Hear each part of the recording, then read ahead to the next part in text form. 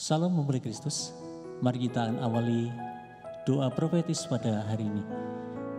Kita tahu bahwa ketika puji-pujian dinaikkan di hadapan Tuhan dan dia berkata Tuhan bertahta atas puji-pujian umatnya.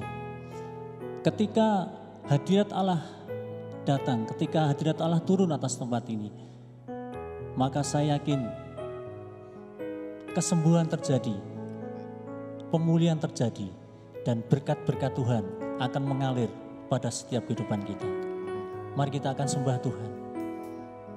Dan katakan bahwa hanya Yesus yang sanggup memulihkan setiap kehidupan umat-umatnya.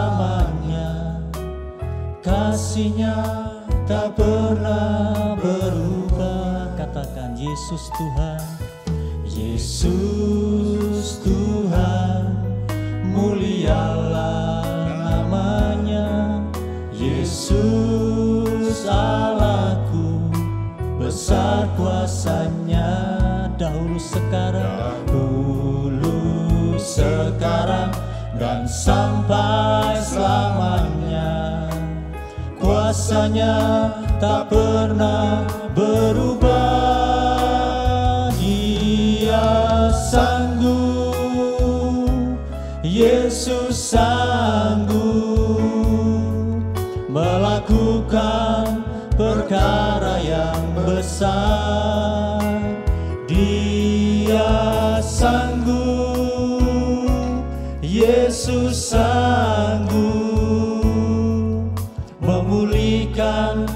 terluka menyembuhkan. Yang menderita dia sanggup memulihkan hidup Mari katakan sama-sama bahwa dia Allah yang sanggup menyembuhkan setiap kehidupan kita. Yesus Tuhan mulialah namanya. Yesus Allahku besar kasihnya.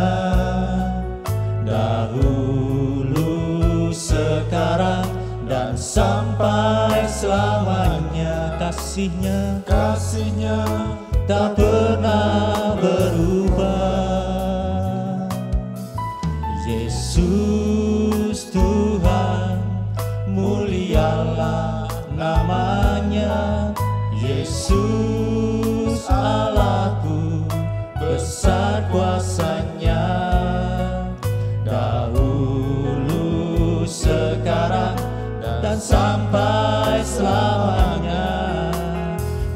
kuasanya tak pernah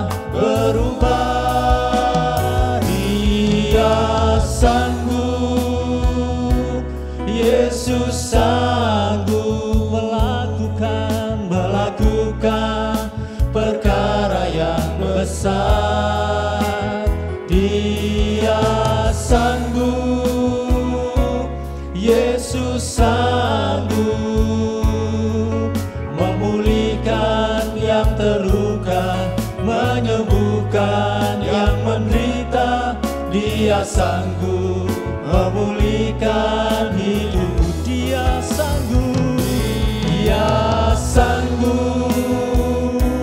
Yesus sanggup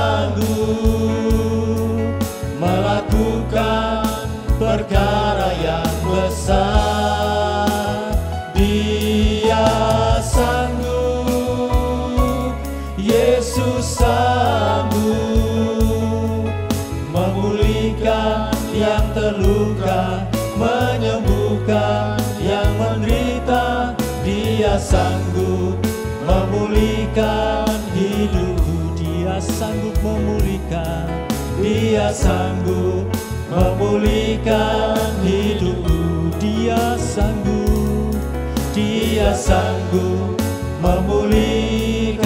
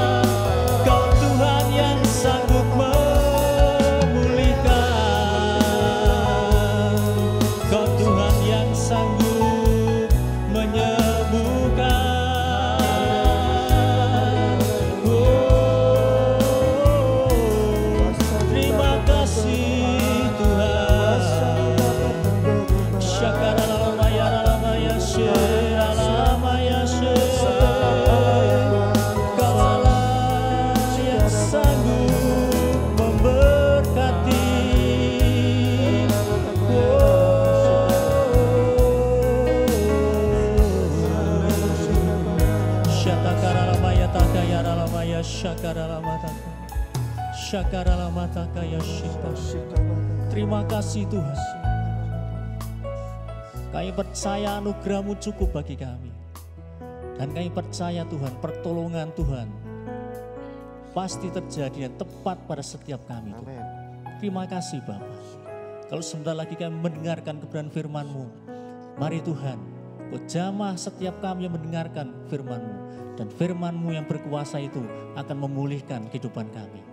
Terima kasih Bapak. Di dalam nama Tuhan kami Yesus Kristus, kami berdoa dan bersyukur. Amin. Shalom mempelai Kristus yang terkasih. Di malam hari ini kita sama-sama belajar kebenaran firman Tuhan dari 2 Petrus pasal yang pertama ayat yang ketiga dan keempat. Karena kuasa ilahinya telah menganugerahkan kepada kita segala sesuatu yang berguna untuk hidup yang saleh oleh pengenalan kita akan dia yang telah memanggil kita oleh kuasanya yang mulia dan ajaib. Dan dengan jalan itu ia telah menganugerahkan kepada kita janji-janji yang berharga dan yang sangat besar supaya olehnya kamu boleh mengambil bagian dalam kodrat ilahi dan luput dari hawa nafsu duniawi yang membinasakan dunia. Mempelai Kristus yang terkasih, sebagai orang yang percaya, hari-hari ini kita mengalami banyak pergumulan, banyak tantangan. Dan pergumulan tantangan itu bukan saja buat kita sebagai orang percaya. Hampir di seluruh dunia mengalami hal yang sama. Tetapi bagaimana kita menyadari ada kebenaran firman Tuhan yang memberi kekuatan kepada kita. Dalam 2 Petrus 1 ayat yang ketiga dan keempat jelas. Firman Tuhan dimulai dengan kata karena kuasanya. Bukan tanpa alasan Sebagai orang percaya kita menerima kuasa ilahi. Kuasa itu dianugerahkan kepada setiap kita dalam bentuk segala sesuatu yang berguna. Apa artinya segala sesuatu yang berguna? Sebagai orang percaya menyadari ada hal yang tidak berguna juga dalam kehidupan ini. Tapi kalau kita tahu ada anugerah yang luar biasa, yaitu kuasa. Bahkan di, dalam ayat yang ketiga, diakhiri juga dengan kata memanggil kita oleh kuasanya yang mulia dan ajaib. Hal yang pertama yang harus kita sadari sebagai orang percaya adalah hidup kita dilingkupi oleh kuasa ilahi. Hidup kita dilingkupi oleh kuasa ilahi yang terus menerus bekerja sampai hari ini. Yang kedua, apa anugerah yang kita terima selain kuasa ilahi? Anugerah yang kita terima adalah janji-janji. Dikatakan dengan jalan itu ia telah menganugerahkan kepada kita janji-janji yang berharga dan sangat besar. Ada janji-janji yang besar, yang berharga dan sangat besar. Berharga artinya sesuatu yang bernilai tinggi, yang harus kita terus jaga, yang harus terus kita pelihara. Sampai segala sesuatunya terjadi. Apa artinya yang sangat besar?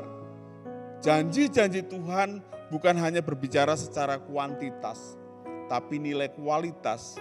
Kata sangat besar artinya tidak terlampaui oleh akal pikiran kita. Maka kalau kita menyadari bahwa hidup kita diliputi dengan kuasa dan hidup kita berjalan dalam janji-janji Tuhan.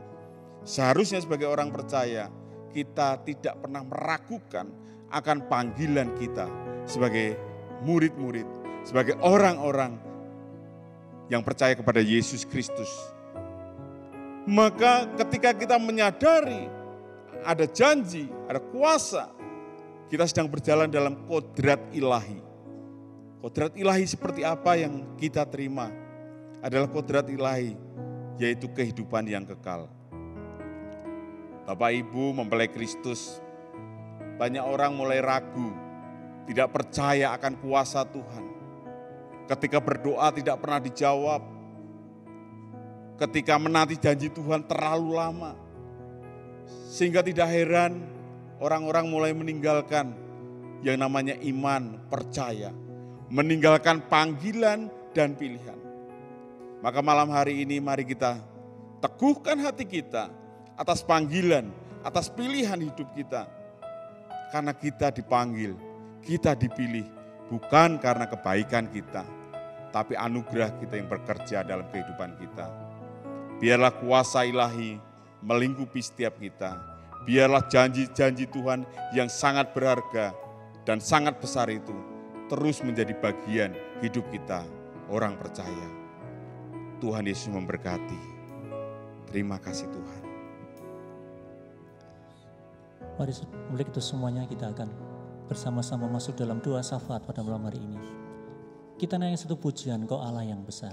Sebab hanya dialah Allah yang besar, Allah yang kuasa dan Allah yang luar biasa.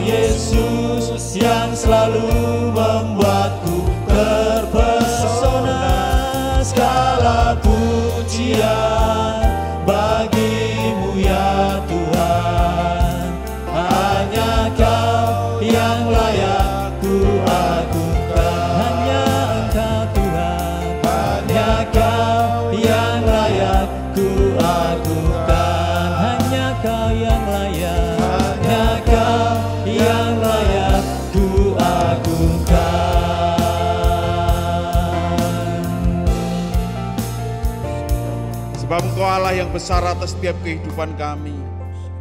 Kau Allah yang diagungkan dalam setiap kehidupan kami. Dan kami bersyukur untuk kesempatan malam hari ini. Kami boleh bersama-sama berkumpul. Kami bersama-sama berdoa syafaat. Terima kasih Tuhan untuk kesempatan yang kau berikan atas hidup kami. Malam hari ini kami mengangkat para pemimpin bangsa ini Tuhan. Kami percaya anugerahmu besar atas bangsa kami Indonesia. Untuk setiap pergumulan-pergumulan yang dihadapi bangsa ini. Engkau tidak pernah meninggalkan bangsa ini ya Tuhan. Kami berdoa Tuhan, kasih anugerahmu, Engkau turunkan atas Bapak Presiden, Wakil Presiden, para kabinetnya, Tuhan mereka yang bekerja di pimpinan-pimpinan pusat Tuhan. Kami serahkan semua dalam kuasamu Tuhan. Ada hikmatmu yang kau berikan atas para pemimpin kami yang di pusat. Sehingga mereka boleh mengatur jalannya pemerintahan, kehidupan bernegara, terus sesuai dengan kehendak dan rencanamu. Terima kasih Tuhan, terima kasih.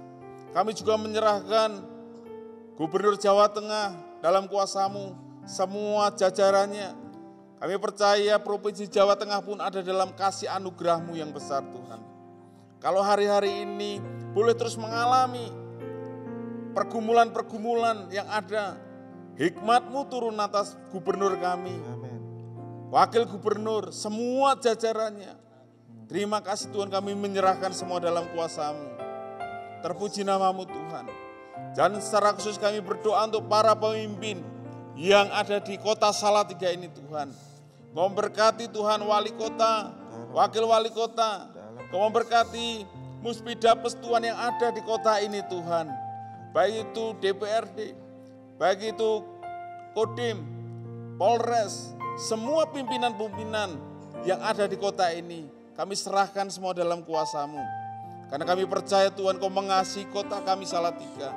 Berikan hikmat kepada para pemimpin kami untuk terus mengatur kota Salatiga, menata kota Salatiga. Kami serahkan semua dalam kuasamu. Kami serahkan pemimpin dari pusat sampai dalam perut kota ini Tuhan dalam kuasamu. Berikan roh takut akan Tuhan. Sehingga menjalankan setiap pemerintahan dengan takut akan Tuhan.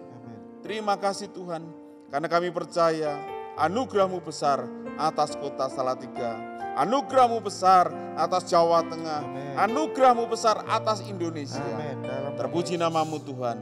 Kami serahkan semua ini di dalam nama Tuhan Yesus Kristus. Haleluya. Dan kami mengangkat hati kami bersama-sama Tuhan. Membawa hidup kami di hadapan Tuhan. Kami membawa setiap pergumulan-pergumulan yang ada di bangsa ini, khususnya kami berdoa ketika hari-hari ini, saat-saat ini, bangsa ini sedang menghadapi pandemi. Kami berdoa Tuhan untuk setiap kebijakan-kebijakan yang diambil supaya terus yang terbaik untuk bangsa ini Tuhan. Untuk setiap langkah-langkah yang diambil yang terbaik untuk bangsa ini. Kami berdoa bersepakat malam hari ini Tuhan untuk penanganan COVID-19. Kami minta anugerah dan hikmat Tuhan untuk boleh mengalir untuk setiap bidang-bidang yang boleh terlibat di dalam penanganan COVID-19 ini. Untuk Departemen Kesehatan khususnya, para medis, kami mendoakan mereka Tuhan, beri kekuatan dan kesehatan yang maksimal yang daripada Tuhan. Kami percaya kekuatanmu boleh mengalir, sehingga ketika mereka menjadi garda terdepan, mereka boleh maju, mereka boleh menghadapi dan menjalankan setiap tugas yang menjadi tugas-tugas mereka dengan luar biasa, dengan dengan baik, dengan sungguh-sungguh. Kami juga berdoa Tuhan, kalau hari-hari ini kami mendengar banyak orang yang sudah positif terkena COVID-19 ini Tuhan. Kami minta kekuatan, kesehatan yang maksimal, kami berdoa Tuhan, pemulihan boleh terjadi, kesembuhan boleh terjadi Tuhan. Tidak ada yang mustahil bagi Allah, tidak ada yang mustahil bagi orang-orang percaya. Kami percaya juga lewat semuanya ini mendatangkan kebaikan. Tuhan kami berdoa juga untuk setiap masyarakat secara umum. Kami berdoa Tuhan, berikan kami kesadaran yang penuh untuk kami boleh melakukan segala aktivitas kami sesuai dengan protokol kesehatan. Kami tidak mau melanggarnya. Kami mau berjalan sesuai dengan aturan-aturan yang sudah diberikan oleh pemerintah supaya kami boleh menjadi pribadi yang taat Tuhan. Kami berdoa Tuhan untuk setiap aspek yang boleh terlibat juga untuk gugus COVID, gugus tugas yang ada. Kami minta Tuhan anugerahmu boleh dilimpahkan sehingga mereka boleh bekerja, mereka boleh menjalankan setiap tugas mereka dengan baik. Bapak, kami juga berdoa terkhusus untuk kota Salatiga. Kalau kami melihat hari-hari ini terus grafiknya masih naik. Kami minta anugerahmu Tuhan. Kami minta pertolongan Tuhan supaya kami khususnya yang di Salatiga ini boleh benar-benar mengalami kasih dan kuasa Tuhan khususnya dalam menghadapi COVID-19 ini Tuhan. Terima kasih untuk setiap pemerintahan yang boleh terlibat semaksimal mungkin dengan upaya, dengan kebijakan yang ada. Kami percaya Tuhan, Engkau boleh memberikan yang terbaik Tuhan. Dan terkhusus juga malam hari ini kami berdoa untuk gereja-gereja Tuhan, untuk hamba-hamba Tuhan, untuk setiap orang-orang yang terlibat di dalam ladang pelayanan Tuhan. Kami minta anugerahmu boleh terjadi Tuhan. Secara umum di bangsa ini dan juga secara khusus di kota kami Salatiga. Ada kurang lebih 94 gereja yang terlibat di dalam Badan Kerjasama Gereja-Gereja Salatiga. Kami berdoa Tuhan untuk setiap gereja-gereja yang ada di Salatiga ini. Kami mendoakan kalau mereka beberapa waktu ini ada sebagian yang sudah boleh menjalankan ibadah secara offline. Kami minta anugerahmu boleh mengalir sehingga kerinduan jemaat juga boleh terjawab Tuhan. Tetapi ada beberapa gereja juga yang masih ibadah secara online kami terus mendoakan mereka juga Tuhan sebagai upaya terus dalam penggembalaan di dalam gereja yang ada. Tuhan kami berdoa Tuhan untuk setiap kehidupan para hamba-hamba Tuhan ini. Kami percaya tetap pertolongan Tuhan nyata atas kehidupan hamba-hamba Tuhan ini. Lewat semua yang hal yang boleh dihadapi, kami percaya Engkau boleh memakai setiap hamba-hamba Tuhan yang ada untuk menjadi berkat, untuk menjadi saluran, untuk menyuarakan suara kenabian. Kami terus berdoa untuk setiap program-program yang ada di BKGS khususnya dalam menghadapi COVID-19 ini Tuhan. Biarkan kami boleh gereja-gereja boleh bersatu hati bersama-sama bergandeng tangan untuk menyatakan kemuliaan Tuhan, menyatakan shalom di kota kami Salatiga. Terima kasih Tuhan, terima kasih kami akan melihat bahwa lewat gereja-gereja yang ada di Salatiga ini, kemuliaan Tuhan boleh dinyatakan atas kota kami Salatiga. Di dalam nama Tuhan Yesus, haleluya. Kami juga mengangkat pada malam hari ini Tuhan teringat untuk proses belajar mengajar yang sudah berjalan sejak tanggal 13 Juli lalu Tuhan. Kami berdoa untuk anak-anak kami Tuhan yang saat ini sudah mengikuti proses belajar mengajar Tuhan. Tuhan berkati dalam beradaptasi ketika mereka menggunakan daring sebagai proses belajar mengajar Tuhan. Berkati mereka Tuhan agar mereka boleh beradaptasi dengan baik, menerima pembelajaran dengan baik, mengerjakan tugas dengan baik Tuhan. Apa yang mereka hadapi adalah sebuah sebuah perubahan yang baru yang mereka juga harus jajaki Tuhan. Engkau sendiri yang mau menyertai mereka Tuhan anak-anak kami dalam proses belajar ini Tuhan. Sehingga apa yang mereka raih Tuhan, mereka boleh mendapatkan pembelajaran dengan baik dan mereka dapat mencapai apa yang mereka cita-citakan dalam proses belajar ini dengan baik Tuhan. Terima kasih Tuhan, terima kasih. Kami berdoa untuk juga para guru yang membuat tugas-tugas dan menyelesaikan setiap desain untuk program pembelajaran daring ini Tuhan. Berkati Tuhan para guru agar mereka juga boleh menyelesaikan tugas-tugas ini dengan baik. Tentu hal ini juga merupakan hal yang baru buat mereka. Biarlah mereka para guru juga bisa beradaptasi dengan baik sehingga mereka boleh menyajikan pembelajaran proses daring ini dengan baik juga kepada anak-anak Tuhan. Berkati mereka satu persatu Tuhan. Kami juga ingat Tuhan buat lembaga-lembaga Kristen yang ada Tuhan yang berjuang bersama-sama kami menghadapi pandemi ini Tuhan. Baik rumah sakit-rumah sakit Kristen, baik lembaga-lembaga pendidikan Kristen yayasan-yayasan Kristen, radio-radio Kristen, juga lembaga yayasan yang lain yang bergerak di bidang sosial Tuhan, yang selalu berasaskan pada kasih-Mu Tuhan. Berkati mereka Tuhan, lembaga-lembaga ini ketika mereka boleh berjuang bersama-sama untuk membangun sebuah sistem yang baik, untuk beradaptasi dengan baik dalam sebuah kondisi saat ini Tuhan. Terima kasih Tuhan atas berkat-Mu kepada mereka Tuhan. Dan pada malam hari ini kami serahkan semuanya dalam tangan-Mu. Dalam nama Tuhan Yesus Kristus, Juru Selamat kami, hidup susah kami. Kami berdoa dan mengucap syukur. Tuhan saat ini kami juga berdoa untuk stabilitas politik yang ada di bangsa kami Tuhan. Stabilitas politik dan stabilitas ekonomi Tuhan. Kami rindukan Tuhan sebuah stabilitas politik yang aman dan terkendali Tuhan di kota di negara kami Tuhan. Karena dengan keadaan yang aman, terkendali, perekonomian bisa berjalan dengan baik, masyarakat bisa hidup dengan baik, mereka bisa berinvestasi dengan baik, dan kesejahteraan rakyat Indonesia juga akan meningkat Tuhan.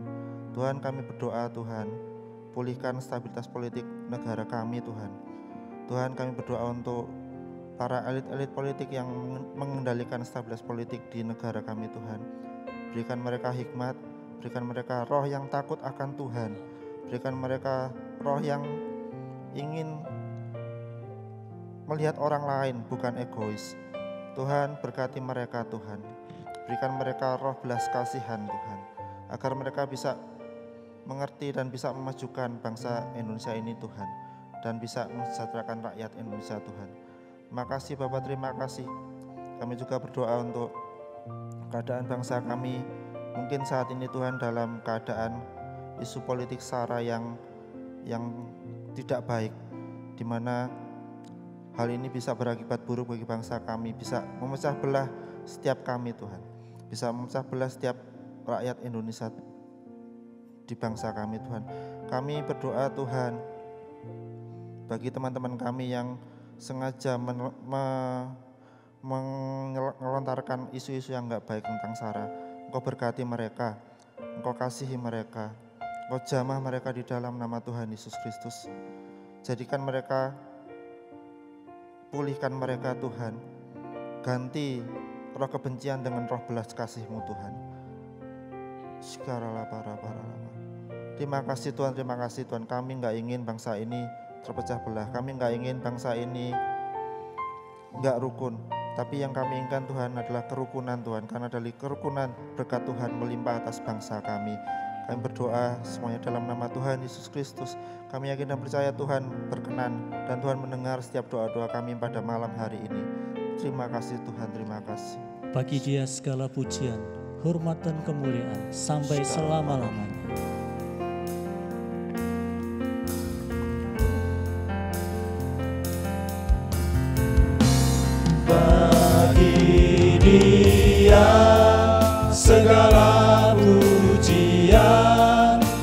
Serta syukur kekal selamanya bagi dia segala pujian, hormat serta syukur selama-lamanya.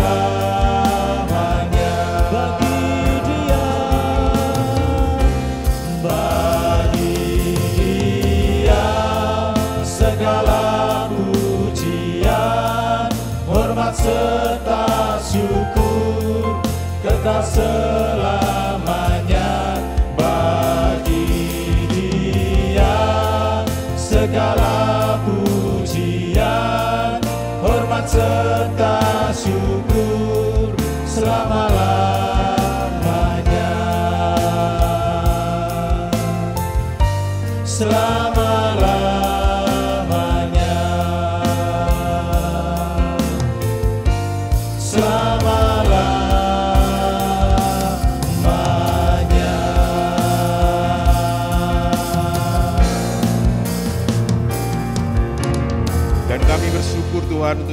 kebaikan-Mu, untuk doa malam hari ini, kami percaya anugerah-Mu turun atas setiap kehidupan kami.